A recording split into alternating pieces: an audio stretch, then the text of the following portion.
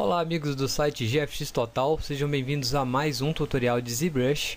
Hoje nós vamos falar um pouco mais sobre modelagem orgânica através da ferramenta ZBrush e vamos entender um pouco mais desse processo de modelagem, de como criar um modelo a partir do zero, tá? A primeira coisa que nós devemos ter em mente é que é necessário um conhecimento básico em ZBrush, ou seja, saber abrir um, um pincel, saber criar um documento, coisas básicas, tá? Somente manusear o ZBrush. Se você ainda não sabe, eu recomendo que você volte a alguns tutoriais anteriores e tente pegar um pouco mais esses macetes de utilizar o programa. Porém, eu vou tentar é, ser didático, vou tentar mostrar para vocês todos os atalhos que nós vamos utilizar aqui. Tá? E antes de começar o tutorial, quero explicar um pouquinho sobre os brushes que nós vamos utilizar. Serão brushes básicos, porém você pode é, alternar os brushes, pode usar brushes mais avançados, tá? Então aqui com o meu Lightbox aberto, no meu Lightbox, nós vamos abrir aqui um plane, tá? Um plane simples, somente para poder testar aqui o nosso brush. Então vou tirar aqui a perspectiva. Temos aqui um plane na nossa cena. Esse plane possui aqui uma quantidade X de divisões, como nós podemos perceber aqui, não são muitas.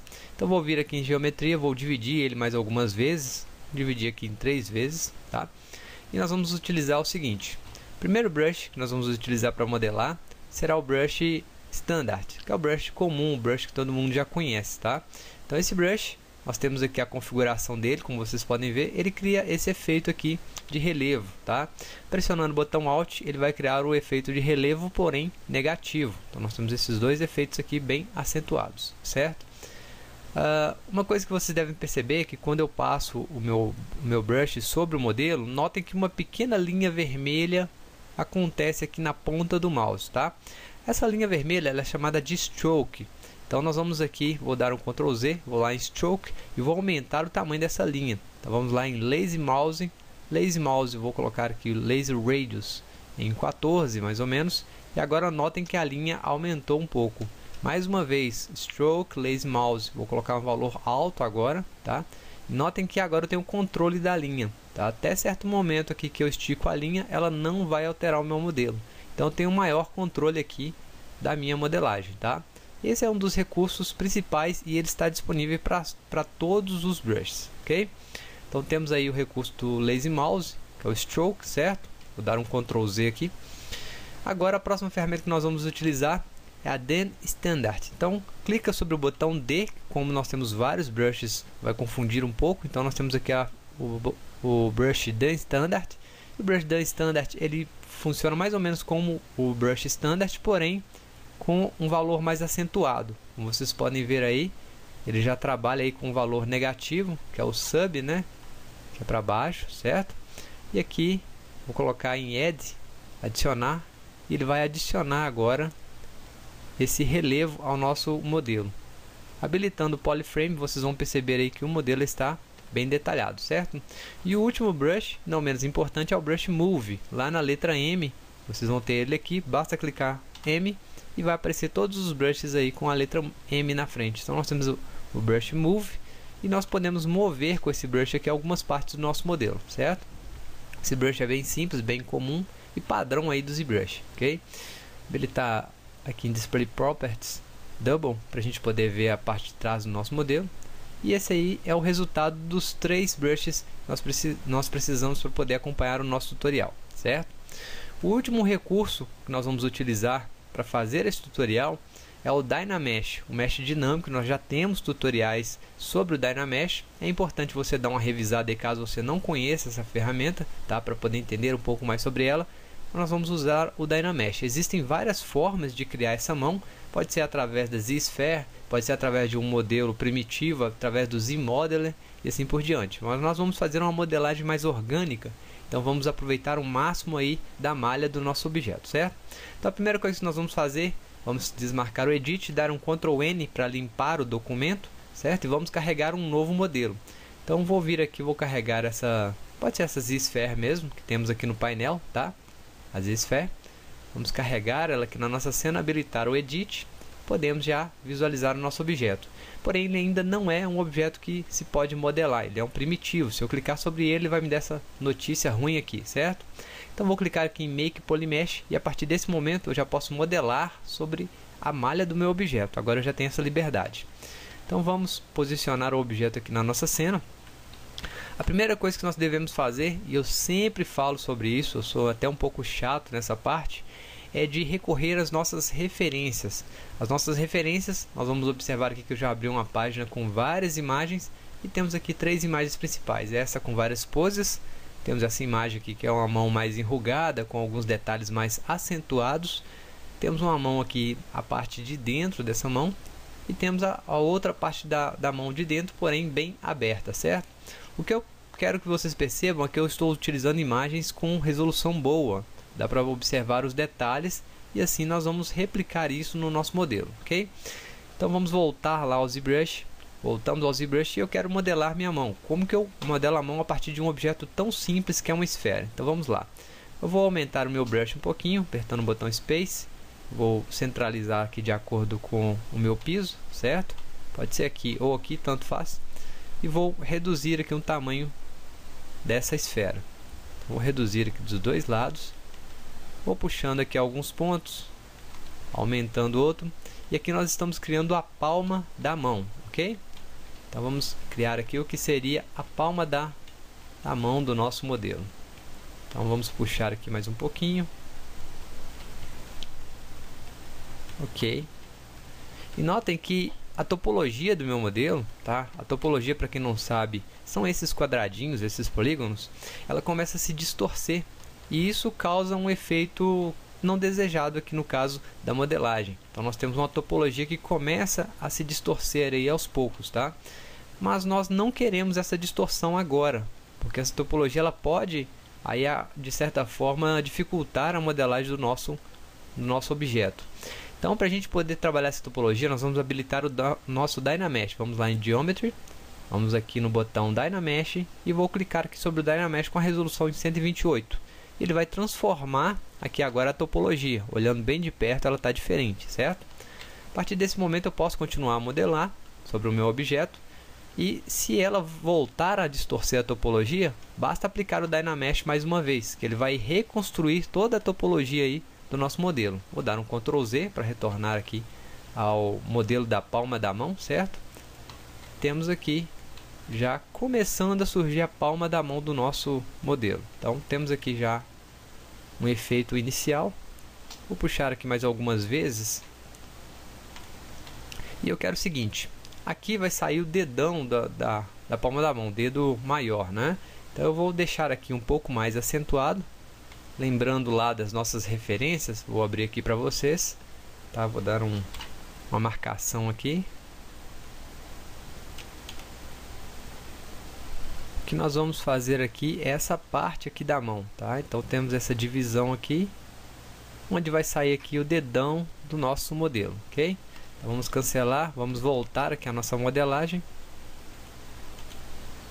E eu vou agora voltar para o ZBrush. A partir desse modelo nós já percebemos aqui como que é o formato inicial da mão. Vamos lá para o ZBrush. Eu vou fazer aqui o mesmo resultado. Então, vou puxar aqui um pouquinho. Vou fazer aqui como se fosse essa parte inicial da palma da mão, certo? Vamos voltar aqui algumas vezes que eu vou sobrepor um pouco. Ok. Como eu havia falado para vocês, toda vez que nós executamos uma distorção na malha do nosso objeto, ela sofre essa distorção diretamente nos polígonos. Então nós executamos o Dynamesh através da máscara fora do, do nosso objeto, que é o Control. Né? Então já temos aí a base inicial da nossa mão. Vou puxar aqui o que seria um dedo. Então vamos reduzir o tamanho do nosso brush. Vou puxar aqui, vou chamar esse aqui de dedo, tá? Vocês vão perceber que ele sofre uma distorção bem, bem grande. Nós temos aqui uma distorção da malha. Então vou executar o Dynamesh mais uma vez e agora vou corrigir isso. Temos aqui alguns outros brushes que vão nos ajudar, tá? Então vamos utilizar aqui o Inflate. É algum brush secundário, não, não há necessidade de utilizar muito, mas neste caso aqui ele ajuda, tá? Que ele infla o modelo. Então temos aqui uma, inflando a parte do dedo aqui, certo? Então temos aqui já um exemplo inicial. E agora sim podemos voltar à nossa ferramenta Move. Então voltei à ferramenta Move. Vou voltar a esticar aqui alguns, algumas partes do meu modelo. Observem que eu estou modelando somente um dedo né, desse modelo. Por que, que eu estou fazendo somente um dedo? Porque depois eu posso, de certa forma, copiá-lo, colocar ele aqui como forma de cópias. Então não há necessidade de modelar vários dedos. Aqui também, como base de referência, vou utilizar a ferramenta Standard, que é a ferramenta padrão. Vou fazer aqui alguns riscos. Então vamos lá em Stroke, vou reduzir o Stroke novamente para 1. Não há necessidade de mantê-lo alto. E aqui nós temos aqueles ossos da mão, certo? Então vamos puxar aqui somente como referência, só para ter uma ideia de onde serão os encaixes. Ok. Aqui esse osso ele dá uma certa continuidade, mas não há necessidade de modelar tudo agora. Nós vamos fazer mais à frente, certo? E aqui o dedo com as suas divisões. Então tem aqui a divisão do dedo, tem aqui a divisão das juntas do dedo, Ok, e aqui eu já tenho uma boa base para a gente poder modelar. Agora eu vou puxar o dedão. Nós temos aqui o dedão, dedo polegar, né? Então eu vou pegar aqui a minha ferramenta Move, mais uma vez.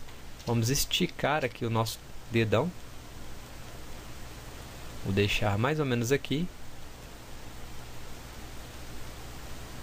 Ok. Então vejo que o dedão ele já começa a aparecer também. Já temos aí um efeito interessante porém ele ainda está um pouco desalinhado. Então, o que, que eu vou fazer nesse caso? A ferramenta Move, eu vou pressionar o botão Ctrl e vou arrastar a ferramenta Move até selecionar aqui quase que todo, todo o nosso dedo, o dedo do personagem aqui.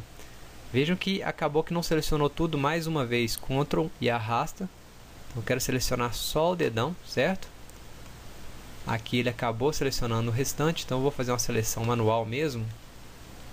Fazer aqui através do do laço. Ok. Invertemos a nossa seleção. E agora eu vou girar esse dedo aqui, tá? Mais uma vez vou reforçar, pessoal. Quem não tem experiência, quem não sabe utilizar o ZBrush, é aconselhável que busque tutoriais mais é, mais tranquilos de se acompanhar, tá? Porque não dá, infelizmente, não dá para explicar em 100% das coisas. Senão o tutorial fica muito cansativo, muito difícil de acompanhar, certo? Então temos aqui já uma distorção. Notem que a mão ela sofreu aqui uma distorção na topologia. Então o que, que eu vou fazer? Botão Shift, vou suavizar aqui primeiro. Vou mostrar aqui o Polyframe. E agora vamos ativar mais uma vez o nosso Dynamesh. Então, ele vai reconstruir aqui essa malha. Nós vamos ter aí um efeito interessante. Daqui a pouco nós vamos é, corrigir tudo certinho, tá? Mas aqui é somente uma base inicial mesmo. Então vamos já corrigir aqui.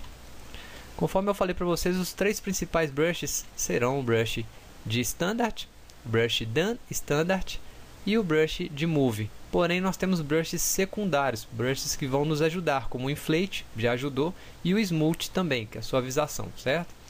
Temos também um, um brush muito interessante de se utilizar, que é o Clay. Nós temos aqui a opção Clay Build. Clay Build é um brush que ele cria esses quadrados aqui no nosso modelo, certo?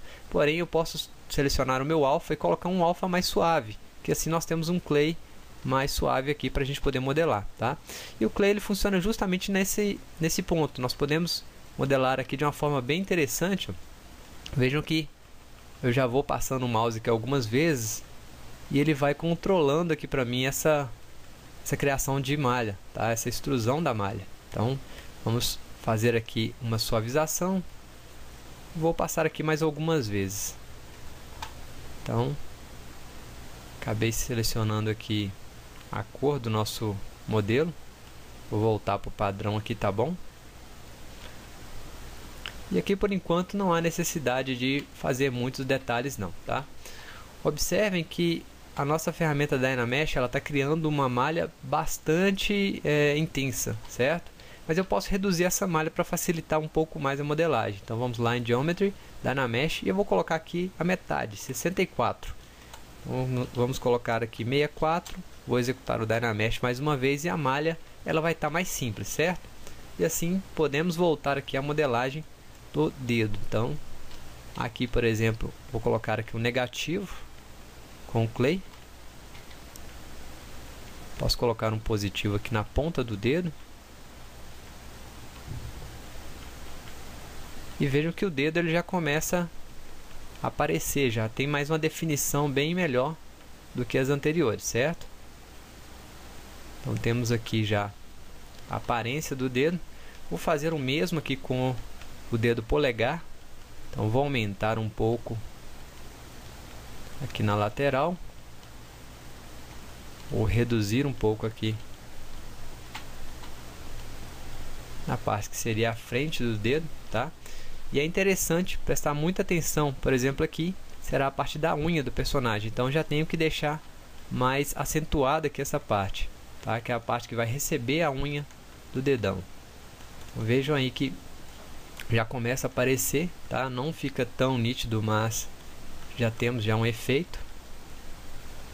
E trabalhar com a malha mais mais aliás, com menos divisões, vocês vão perceber que fica um pouco mais fácil do que trabalhar com aquela malha muito dividida, com milhares de polígonos, certo?